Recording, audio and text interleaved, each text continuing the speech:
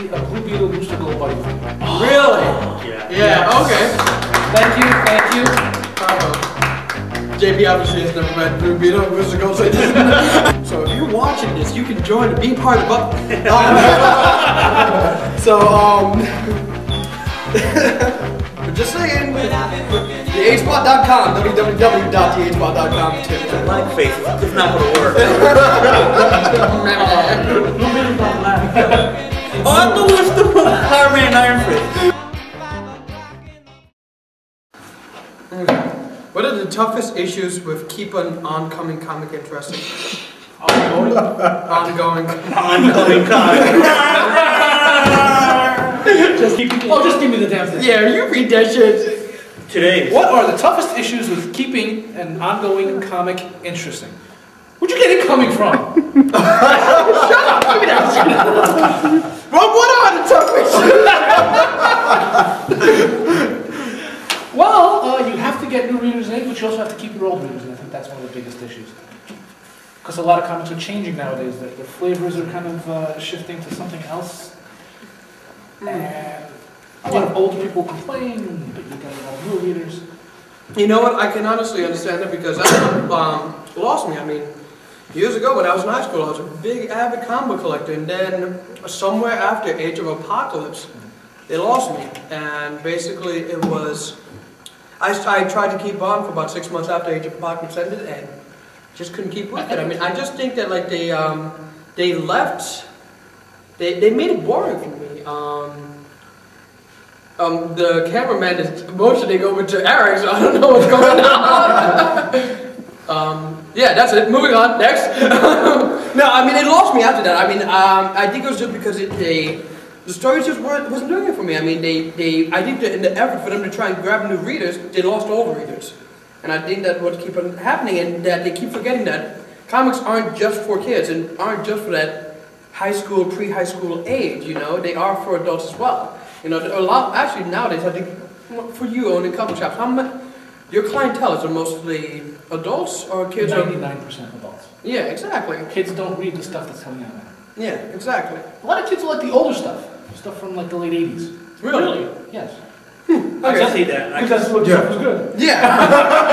I think there wasn't much continuity to bog it down, and most stories were told in an issue or two. Well, no, I also, sorry, um, not to, dis- I think there was continuity back in the eighties, but however, I think there was what Wilson, uh, I think Wilson backed me up. There used to be a continuity editor, if I'm not mistaken. Yeah. No, no, what I'm suggesting is that you, it didn't really matter so much if you didn't read previous stories. Oh, okay, I see what you're I think they were better at filling you in without. There was better time. exposition. Yeah. I don't call exposition because they didn't, they kept. I know what your, that, what Right. comic books are missing now. Ad scene in issue 181. That's what comic books nowadays don't have. They don't have the. They're ignoring continuity instead of basically saying that. And I think the older comic books basically said, this happened to this person, and then we're moving on. And if you want to read what happened to that person, it's, you know, in issue 181 or whatever. Um, and I think that that was an easier way to just keep the story going. Um, I don't say that, I don't think they got too continuity heavy, only because a lot of us didn't start off in issue one anyway. We started off in the middle of it. And back in the 80s, and you know, from the time Marvel was created till about 89, everything was cohesive in the sense of you could jump on anywhere and pretty much catch up.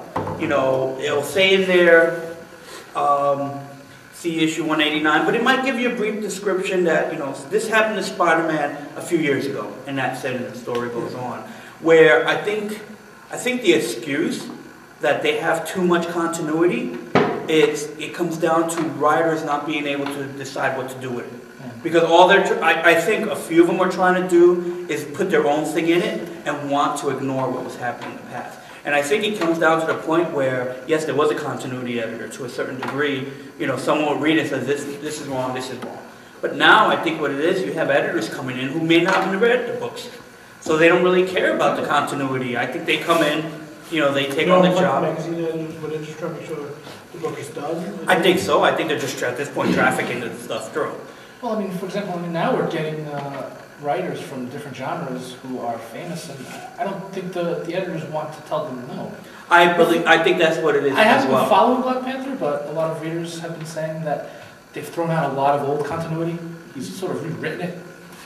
So like he always, I, I could easily see that. he that. never had like a, he never had that friendship with the Avengers that he used to have. Right. And he and Storm were, were romantic interests years ago, Well, the funny just to fit his own vision. Yes. The funny thing about that series is that I started reading it, and at one point I wasn't sure if it was supposed to be part of Marvel continuity or just a hmm. reimagining, like almost like almost like an Elseworlds version of Yeah. the story. It was confusing. yeah, because I'm like, this is Klaw. Is that who that is? Mm-hmm. That's right. Um, oh, oh, I get it. This isn't the real Black Panther. Oh, okay. Arr. And after a while, I lost interest because I thought, I thought I was reading about someone that didn't matter, and then I found out, no, that's supposed to be all continuity. He's just rewriting it, and that kind of bothers me when he's just basically ignoring the previous continuity. Arbitrarily just thrown out, and Yeah. Um, Basically saying if it's not working for us, just get rid of it or ignore it. And well, I, I think that's poor writing in the sense of that was called. You should be able to work within the constraint, especially for people coming from TV. Yeah. If you worked on a TV show, that means you've worked where what's called. You had three seasons of continuity. Well, For he, he was a movie director. He was a movie director? He's the guy who directed House Party. Oh, okay. Original one, yeah. yeah, so, you know, that's great. Just put it out there. You didn't know that? Okay. No, I didn't know that. Uh, well, you know what it is? Moving on. No, uh, that kind of disturbs me. even more, apparently. um, I just think that was, well, getting back to the original, uh, what is, uh, one of the hardest of keeping, one of the hardest things about keeping a story interesting is that one, uh, like, you have to keep it fresh and which is almost impossible to do because all the stories have been told. So you have to put your own twist on the stories. Um, the other thing is that I think you have to keep it relatable to the readers. Um, and I think at this point, they don't know who their readers are anymore. I think with the problem of not having, not knowing if it's a young audience, an old audience, teenagers, I don't, I don't, I think they're too afraid to just try and go after one audience Hmm. And what's called. Well, they're not getting the preteen audience anymore. I, I, I- I think DC was smart, was smart when they tried to create their own preteen line with the Teen Titans Go and stuff like that. I mean, it may not be working, but at least I can see they're going, they're trying to make that effort. Marvel at this point, I don't think has anything really going. Well, they have the Marvel Adventures books. Um, Is that subtle or? Um, it doesn't really not really. Okay. You know, I, I'd rather, I'd rather turn a kid onto like the essential books. Yeah. All right, um, but I, I don't, uh, what's it called, I think that was called, uh, one of the most interesting, uh, the hardest thing though, to keep it interesting is you gotta make it something that snaps with the reader. And. Well, I think you have to remain consistent with the, the, the book's theme, Right. but still be ballsy enough to Well, I think that's part of the reason why the push eighties, the envelope. I think that's part of the reason why the eighties was great, because people were really afraid that the industry was just gonna die. They just start throwing shit against the wall, see what's stuck. It's like what's called. They really were. But at the same time, you still have to be true to the character. I think that's what happens a lot of times when nowadays. I mean, uh, Have we read All Star Batman and Robin? no, I- no, I No, they haven't finished it. Well, They haven't finished it. Exactly. Have you read it though? I tried to. And Frank Miller has just completely written Batman to what he wants him to be, and it doesn't work. I read it because I want to see how far Frank Miller falls, but other than that, it's not good. Um, the- what was the last thing I was trying? Uh, last, the last comic book I collected was way back with X Force when Shatterstar had a secret ID of Benjamin or something like that. And yeah, exactly. That was a fucking long time ago. Didn't follow that source that, of course. Yeah, I- I'm surprised I did.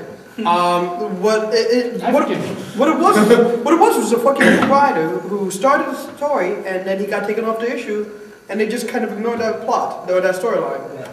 So, and that was basically what happened, and that's one thing where it's like you gotta be, again, come back to being consistent, being, staying true to the character, keeping, if you start a plot, you know, eventually try and finish it, eventually, you know, wrap it up, do something, you know, put a bow on it or something.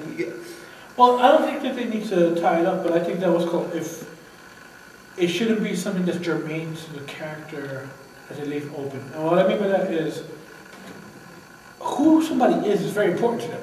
yeah, I, if I want to know my name, I want to know my name throughout. yeah. It could be something like, yeah, there was, say I had a fight with Freddy, wh- whatever the Freddy is. I had a fight with Freddy. Freddie went off and did something, and I don't care anymore because we fought. That's an unresolved plot. I don't give a shit about that. Yeah. But I need to know who my name is. Yeah. I go on this whole thing to go find out my name, and halfway through the story I decide I don't really care about my name. Yeah, that's That basically, weird. that's what I had a problem with, basically, that- like, but that's one of the problems with like, the lack of a continuity editor causes. It's like what's called um, someone writes something and then what's called the previous writer. Uh, the previous writer doesn't what's called um, care anymore. It's oh, sorry, the next writer doesn't care anymore what the previous writer did, and they're not trying to even resolve any of that issues. you know what's coming up a lot that I think we the problem is? Too many writers on one story. That's what I think is a problem. You, ha- you should have basically, I know it's really tough nowadays with big companies like Marvel and DC, but still, I think the problem comes along when you have like more than like five writers on one comic, on one story. In And that's one what- year, too. And yeah, It exactly. used to be a writer would be going, Yeah. will be writing a story for 14 issues, Yeah. and then he leaves. And that's basically what the problem is. So, I mean, if they could just basically keep it for one one writer, try and get a plot, and that's it. Boom, you're done. Well, I, I, So- think, I think the best example of that was Titans. Uh, what was it? Uh, Perez. Yeah. And Wolfman. They, they, and then they were leaving, so to speak. Yeah, exactly. That's it. Ended up and boom, get a good story out of it. Done. Start something else up. Yeah. Oh, that's it. Yeah. Later. All right.